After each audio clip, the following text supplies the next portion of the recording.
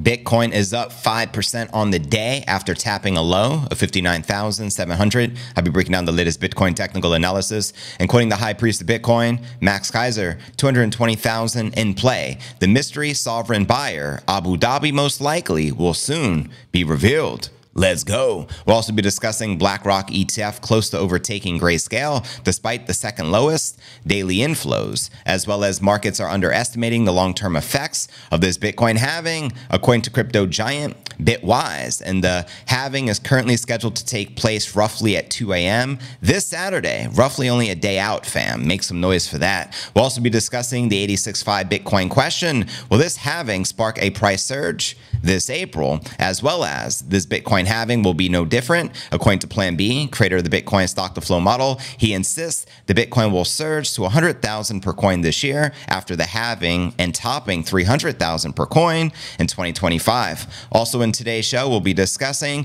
Bitcoin readying for a massive bull rally that can send the price action to $650,000 per coin, as per on-chain analyst Willy Woo. We'll also be taking a look at the overall crypto market. All this plus so much more in today's show.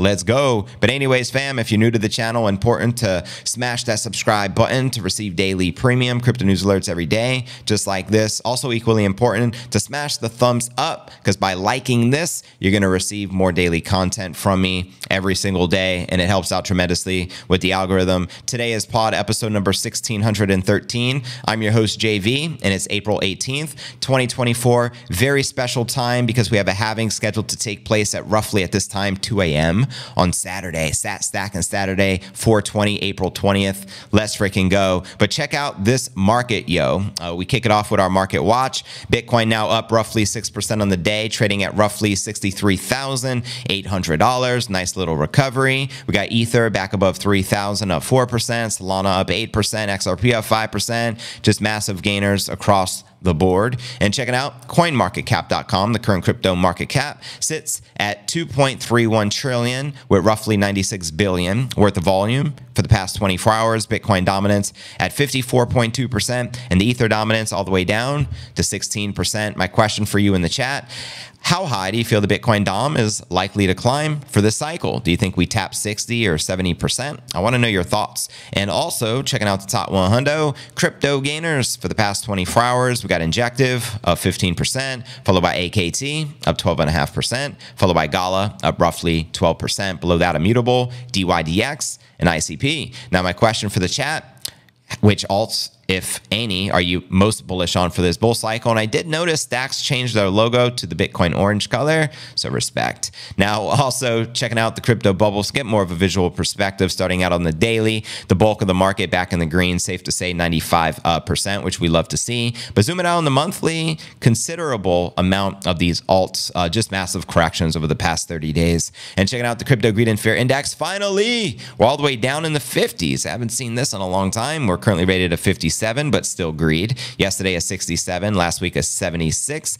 and last month a 79 in extreme greed. The higher this number goes, the more likely of a correction. And checking out the Bitcoin halving countdown as all eyes on the Bitcoin halving right now. We only got one day and nine hours away, roughly one day and 10 hours. So with the estimated halving time being at 2 UTC. Now, can someone decipher the difference between UTC time and Eastern time, for example, New York, because I want to know the difference there because I don't even know what UTC is exactly. All I know is in Puerto Rico right now it's the same as Eastern time. So, like for example, it's 12 11 uh, p.m. here in the afternoon. So I want to know that so I can expect uh, when the halving will take place. Let me know in the chat. So we're currently at block 839,801. So we're only 199 blocks away from the official halving, which occurs at block height 840,000. And here, uh, checking out the time chain calendar, you can see again, only 199 blocks away. And every 10 minutes, we approximately get a new block. Uh, we're currently sitting on a 1.25 trillion Bitcoin market cap, and you can currently trade $1 for 1,575 Satoshis. So stack those sats accordingly. Crypto fam. Amen to that. But, anyways, fam, we got a lot to cover. Let's dive into today's Bitcoin technical analysis. Headline reads Have the alts hit the bottom? The Bitcoin price bounces 5% from 59.7, which is the new low. That's right. As you can see on the one hour chart, Bitcoin tapped 63 G's, baby, before the April 18th Wall Street Open as modest Bitcoin price strength boosted the mood for the traders. 60 G's, from TradingView showed Bitcoin reaching 63,000 on Bitstamp, now up 5.5% versus the prior day's lows. So at 59.7, these represented Bitcoin's lowest levels since early March. And while various forecasts saw the need to clear liquidity at 57,000 and even far lower going forward, saw some reason for mild optimism. Now, amongst them was popular trader Rekt Capital, who shared the following. One of the key things to note about Bitcoin's reaccumulation ranges throughout this cycle is this downside wicks below the range lows tend to occur to trick investors into a fake breakdown, which you can see here in the black circles, before resuming into an uptrend. The chart here showed similar Bitcoin price action at several points beginning at the pit of the 2022 bear market. And each time the price produced a local low before making significant, enduring gains like deja vu, bro. Now, eyeing on chain signals, trader Jelle drew a similar conclusion about what they shared. Bitcoin just tested the three day RSI 50 level at the three day 33 uh, exponential moving average, and at the same time referring to the RSI and 33 period exponential moving average on the three day timeframes. Quoting him here, the last time this happened was at 38,000 earlier this year. Pretty sure the result will be similar, higher prices. Now, isn't that mind boggling? Beginning of the year, we were in the 30,000 range. Let that sink in. We're already up more than 2x family or in the 2x range. So we're just getting this party started.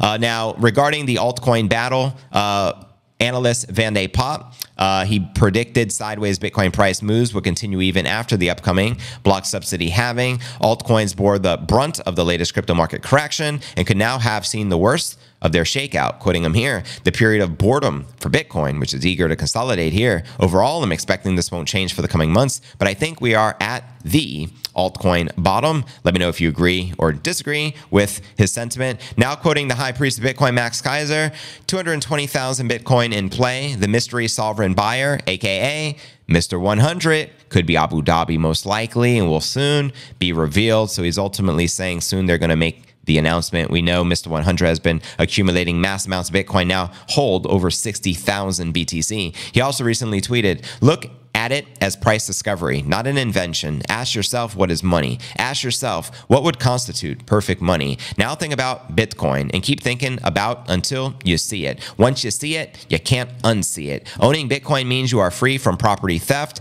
censorship, state overreach, and currency debasement. Do you see it yet? I can see it. 100% preach max and respect to the high priest. So there you have it. He also announced yesterday, as I covered in the show, they're going to be creating a competitive studio to Hollywood over in El Salvador. Max said he's purchasing like a 200 acre site and he was looking for a name. What do you think, Hollywood, Bitcoin Studio? What's your best guess for a name that he could potentially use to, you know what I mean, name his studio? Let me know. But anyways, keep the comments uh, flowing. Greatly appreciate it. Let's discuss these Bitcoin ETFs. Headline reads, BlackRock ETF close to overtaking Grayscale despite the second lowest daily inflows. That's right. There is an overtaking in the process. BlackRock Spot Bitcoin ETF, the iShares Bitcoin Trust IBIT, slowly approaching the market share of Grayscale's Trust ETF, GBTC. BlackRock's IBIT recorded the second lowest daily inflows of 25 million April 17th compared to its lowest day of 20 million worth of inflows April 9th. Despite the second lowest daily inflows, IBIT's current market share of 32% is quietly approaching Grayscale's GBTC market share of 36%. They're right on the cusp of overtaking them, which is the largest spot Bitcoin ETF, holding 19 billion worth of Bitcoin. BlackRock's ETF is currently holding almost 17 billion worth of Bitcoin, which is only 2 billion short of GBTC holdings. And at the rate they're accumulating, and at the rate that GBTC is offloading, only a matter of time. This could the flipping can happen uh, this upcoming week for sure. I IBIT flipping GBTC for the first place is not unfeasible, considering GBTC's Bitcoin holdings fell by 50% ahead of the Bitcoin halving. That's right. 90 days ago, they had almost 620,000 Bitcoin. That was on the first day of trading, January 11th, and currently they only have 308 thousand. Mind boggling, right? Now, looking at the accumulation patterns, BlackRock's Bitcoin accumulation slowed down since its record day, March 13th, when IBIT saw 866 million worth of net inflows. Quick shout out uh, to Mark. Mark just gifted five memberships to the channel to the following Casey C, Stark. I'm sorry, Stankface, Matt Baker, uh, the Ronald MacD, uh, username and okay good you've all been blessed and hooked up with the microstrategy membership on the of the channel on behalf of Mark Wardlaw. Uh, Wardlaw. So we greatly appreciate the support and congratulations to all the new members. Respect. Let's go. Back to the story. Now, BlackRock's Bitcoin ETF holdings surged over 10,000% from 2,600 Bitcoin at launch to the current 272,550 Bitcoin, in which BlackRock currently controls. Again, that took them roughly three months to accomplish. Insane. Now, Grayscale's Bitcoin selling has also been slowing down since March 19th, when GBTC saw 600 million worth of outflows as its fourth largest day of outflows since inception. In comparison, GBTC outflows stood at 79 million April 17th, according to Dune Analytics. Now, cumulative ETF inflows have been slowing down since March last week, which saw over 200 million worth of net inflows into the ETFs, down from 2.5 billion in the week beginning March 11th. Now, the Bitcoin price has also been scheduled or subdued due to the slowing ETF inflows, in which we know we just corrected to a new low of what 59,700, but we just had a nice recovery. Grayscale's GBTC has been experiencing a massive sell-off, which was launched uh, since their launch of trading, introducing significant selling pressure, and I believe a part of that is due to their massive fee of 1.5 annually, in which Grayscale's IBIT only has a quarter percent trading fee, and Franklin Templeton only charges 0.19%. And I think Cathie Wood's is pretty low as well, like 0.25 or 0.2. If someone can clarify that for me, please do let me know. So there you go. Uh, let me know how you feel these ETF inflows will likely continue. Holla at your boy. Let's uh, discuss our next story of the day Bitcoin halving, which is on everyone's mind right now. And again, you can see the block height we're at and where we're heading. Let's uh, dive into this Bitcoin halving a little deeper. We discussed the latest from Grayscale. So here we go. Check it. The digital asset market tends to underestimate the long term price impact of Bitcoin halvings, according to crypto index fund management giant Bitwise. That's right. Bitwise notes that after the previous halvings of 2012, 2016, and 2020, the price of Bitcoin in the first month went up 9%, dropped 10%, and went up 6%, respectively. However, Bitcoin skyrocketed by 88 100% in the first year after the 2012 halving, 285% in the year after the 2016 event, and 550% ish after the 2020 halving. Bitcoin spot trading volumes have also grown in the year following each of the three halvings. According to the Bitwise Chief Investment Officer Matt Hougan and Juan Leon, a senior crypto research analyst at the company, here's what they shared. Of course, we have limited data. We are only working with three historical examples. Still, the picture they paint is relatively intuitive suggesting the market prices and the short term impact of the halving, but underestimate the long term impact. The data also suggests that long term, the halving may be conducive to price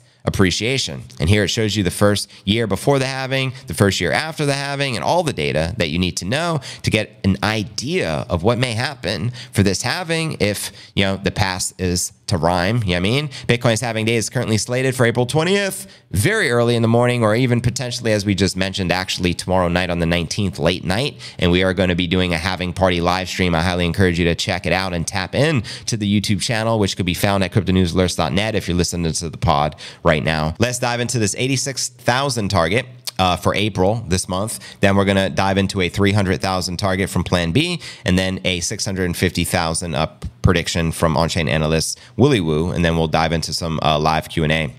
So here we go. Mixed signals for the biddies. According to some analysis, market exhibits bullish signs with the 200 week and 50 week moving averages at 33.7 and 39.9. Now, I'm going to dive right into the meat and potatoes here, or the fruit and veggies as I share for all my vegetarians. He highlights the market sentiment, the fear and greed index at 65, indicating a state of greed amongst market participants. The analyst notes that the current phase of the market cycle is characterized by belief I believe I can fly.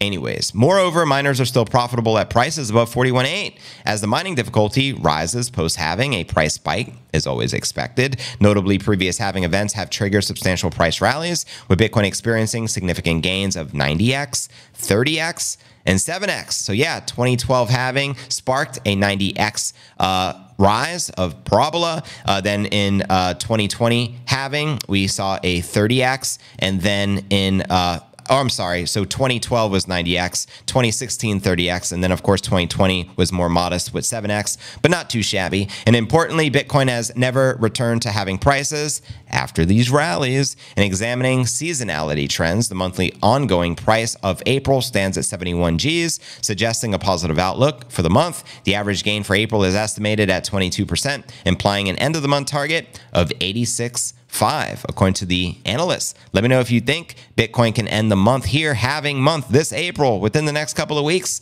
by the time of the Hong Kong ETFs going live with a bitty price of 86.5. Let me know in the chat. Moreover, the period from April 16th to the 30th has historically seen average gains of almost 15%, further reinforcing positive expectations and further price gains for Bitcoin during the upcoming weeks. The analyst says this time frame could attract investors seeking to buy the dip BTFD family, you already know. And despite the overall positive outlook, Bitcoin is trading currently above what we at 64. We bounced back pretty spectacularly, and the current local high is still sitting at 73.7, which we tapped mid March, uh, about a month ago. Moreover, in its quest for new highs and surpassing 80,000, Bitcoin has encountered a significant obstacle at the 70,000 level. Despite surpassing its all time high, Bitcoin has struggled to consolidate above this level for over a week. Nonetheless, the analyst said the potential potential synergy between the success of the ETF market in the US and the upcoming halving event may hold a key to revitalizing Bitcoin's price trajectory. So send it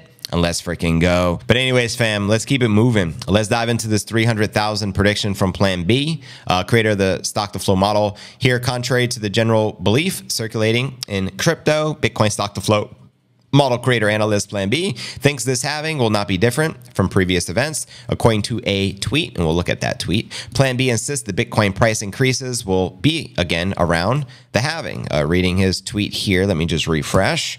Bada boom, bada bing. In my opinion, this Bitcoin halving will be no different. All Bitcoin price increase will again be around the halving. Buying 6 million before the halving and selling 18 million after the halving, which you can see here in the green line, will outperform buying and holding. Uh, Bitcoin greater than 100,000 in 2024 and a Bitcoin top greater than 300,000 per Bitcoin in 2025. Let me know if you agree or disagree. Now, over the past week, several analysts and members of the crypto community expressed uncertainty about the effect of the upcoming halving event, which would have on Bitcoin and its price value. This uncertainty stems from Bitcoin reaching a new all time high a month before the halving, which is unprecedented, meaning it's never happened before. Previous cycles, Bitcoin's all time high usually comes after the halving, as the Bitcoin supply and production rate slow down due to the event slashing the miner block rewards by 50%. However, high demand from the US spot Bitcoin ETFs launched in January pushed the price action past this November 2021 high of 69 G's, baby, to a new peak of 73.7 mid March, again, one month ago. At this point, it remains unclear how much Bitcoin will rally after the halving and if the asset's gains will be substantial compared to the previous events. Quick shout out to Farshad. He just uh, sent a super and wrote Bitcoin over 100,000 by July 4th, 2024. Best believe, I believe, I believe. Uh, thank you, family, and thanks for supporting the channel. Plan B has remained adamant in his stance about Bitcoin's price trajectory and insists that crypto, the king crypto, will surge to 100,000 this year after the halving and then topping 300,000 per coin next year in 2025. It appears his followers share the same view as a poll he released on X last month disclosed 71.9% of the participants expect Bitcoin to hit $100,000 this year in 2024. Let me know if you agree with that sentiment uh, in the live chat. Now, to strengthen his claims that all price increases will take place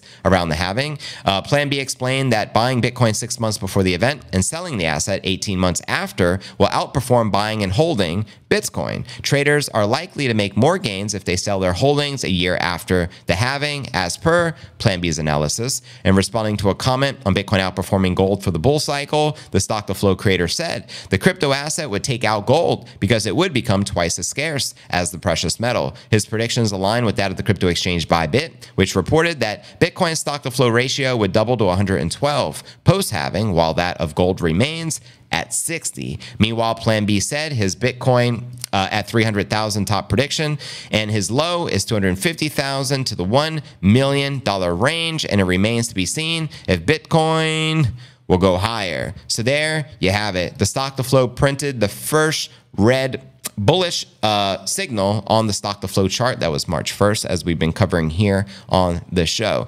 Typically, each cycle will get maybe 8 to 12 red dots. That means we're at the bottom of the first inning of this bull cycle, meaning we're just getting started. So you already know. But now it's time to dive into our feature story of the day and discuss the $650,000 Bitcoin price prediction. So let's break it down, shall we? Headline reads Bitcoin a run to 650,000 if the bulls take charge. That's right. Even with Bitcoin prices facing pressure from the sellers, on chain analyst Willy Woo thinks Bitcoin will reach new highs thanks to the launch of the new Bitcoin ETFs. In a recent post on X, Willy Woo said the coin can soar as high as 91,000 in a bear market bottom, but soar to as high as $650,000 in a bull market top send it. However, do note Bitcoin will only sort of these mega valuations assuming that the leading asset managers will fully deploy their recommended allocations to the world's most valuable crypto asset. Now, at the spot rates, Bitcoin looks shaky even after the surge to all time highs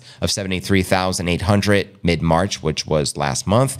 Uh, Bitcoin has been seen under pressure, obviously. So far, prices are within a range. These are capped at 73.8, which is the all time high on the upper end, and around now 59,700 on the lower end, which we just tapped yesterday. So as long as the prices are inside the zoom, the uptrend remains, or the zone, my bad. This preview considers the formation established in the better part of quarter one of this year after the first Bitcoin ETFs in the US were officially approved. I mean, look at this chart. This is the daily chart, fam. This is the tail of the tape. And the analysts also noted that the rise to 91,000 and 650,000 are long term targets and not for this current market cycle necessarily. But most importantly, Willy Woo added, it will depend on how fast and aggressively asset managers like BlackRock add Bitcoin to their diversified portfolios. And even so, this projection excludes inflows from non custodial wallets.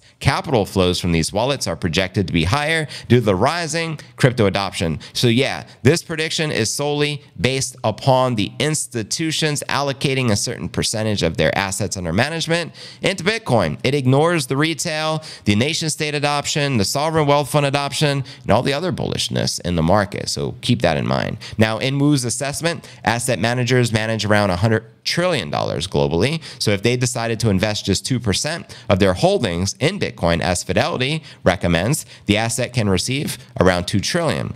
Now, additionally, considering Bitcoin's value based on on-chain movement worth around 560 billion, the total investment will reach 2.56 trillion. So using the market value to realize value, which is the MVRV ratio, Woo said Bitcoin could soar to a market high of 650,000 per Bitcoin in a bull cycle. Now, the MVRV is a metric that compares market capitalization to on-chain investment. Conversely, Bitcoin can reach a swing low of 91,000 per Bitcoin if the crypto crypto market crushes. The MVRV ratio is typically 5x in bull market tops and 0.7x in bear market bottoms. So Woo thinks Bitcoin, like gold, is ready for a 12 year bull run. I've also heard Michael Saylor say we're in a 10 year bull run. So even so, adoption and emergent regulations in Europe and Asia will shape the path to 91 and 650,000 dollars. So there you have it, crypto fam. I want to know your personal prediction for this cycle peak and by what year do you think we're most likely to reach the cycle peak? Will it be this year, 2024? Will it be next year, 2025? How high will we climb? What can you see? Please do let me know and share it in the chat. I predict Bitcoin low of 222,000, which is my bear scenario, and a Bitcoin high, which is my bull scenario of 750,000, somewhere in between there. I think we hit it in 2025 personally. Now we have a lot of bullishness in the market. I mean, I've been covering it each and every day in the show as this is a daily live stream. So I don't want to reiterate myself because I had a very passionate uh, rant yesterday and virtually every day when we end the show before we tap into the live Q&A. I tell you all the reasons why I'm bullish, the obvious reasons. I'll just share some of it with you here now. The obvious reasons is supply demand, right? When you have massive demand and a very limited supply and a halving looming, what's going to happen? I believe 12 to 18 months after the halving, we hit a cycle peak, which would mean in 2025, as history has shown us from the previous halving cycles. Now, when you have massive institutional demand, it means supply shock. Supply shock incoming. I can see the supply shock happening this year. There's only 1.8 million Bitcoin roughly available on the exchanges. And I've heard, uh, according to on chain analysts, over 80% of the current Bitcoin supply is in the hands of the long term hodlers. So, what happens when all the Bitcoin on the exchanges dry up? Bitcoin sells at a premium. Numbers go up because BlackRock is going to have to continue to fulfill the demand for their customers, right? Fidelity, the same thing, and all the rest of them. MicroStrategy is not slowing down anytime soon, right? BlackRock definitely not slowing down. Fidelity not slowing down. Now we have ETFs about to be launched out of Hong Kong. We got ETFs going to be launched uh, potentially out of Australia, El Salvador. There's just so much bullishness. We have Mr. 100 now collectively has over 60,000 Bitcoin, purchasing roughly over 100 Bitcoin per day. Uh, Max Keiser says his. Uh, top candidate for who Mr. 100 is is Abu Dhabi in the UAE. We have the Middle East, all the oil money. We have the Saudis in the Kingdom of Saudi Arabia. We got Qatar. They're sitting on a half a uh, half a trillion dollar uh, sovereign wealth fund. Uh, you have places like uh, Iran. You got the BRICS movement. You got Russia opening up the Bitcoin mining hub in Ethiopia. Can you say bullish? I mean, how can you not be bullish at a time like this when you start to truly fathom, like reflect, meditate, and truly understand how limited this asset class is 21 million, finite limited supply, no corrupt government can change that right? No corrupt politician, no corrupt regulator, no corrupt anybody can change it because it's incorruptible. It's perfect money. For the first time in human history, we have perfect money that can't be inflated, like the US dollar. They're guaranteed to continue to print to try to get out of the deficit, in which is impossible to get out of. Money printer will continue to go. Brrr. Money will continue being laundering, laundered, uh, you know, to fund wars because that's what fiat does best. You know I mean? Fiat currency perpetuates war and violence. Bitcoin perpetuates peace and love. El Salvador being the perfect example. Now there's a blueprint. Bukele laid out the blueprint blueprint. Now any other nation can follow in their footsteps. So you already know. Let me know your thoughts, family.